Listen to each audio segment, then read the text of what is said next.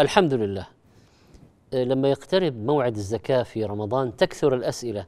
آه، عندنا أقارب آه، نريد أن نعطيهم زكاتنا يعني وضعهم ما هو مرة. يعني وضعهم مستور. يعني وضعهم.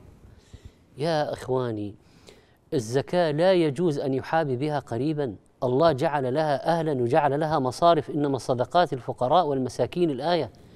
إما أن يكون قريبك هذا فقيرا أو مسكينا حقا وإلا أعطيها للمستحقين ثم الأصول والفروع لا يجوز إعطاؤهم.